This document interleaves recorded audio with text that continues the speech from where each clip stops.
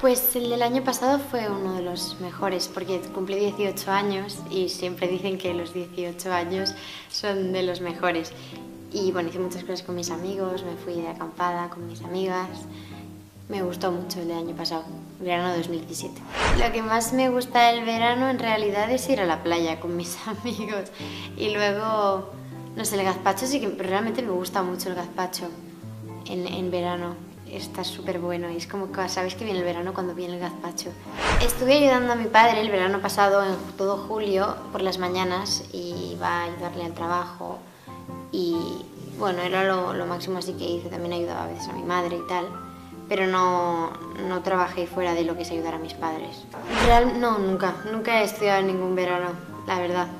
Mi padre cuando era más pequeña sí que me ponía esos libritos, esos de hacer...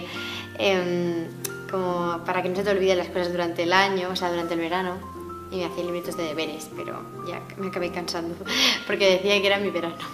No lo sé, realmente mm, no sé qué me, no sé qué me gustaría leer en los periódicos. Cosas buenas, supongo, y ya está.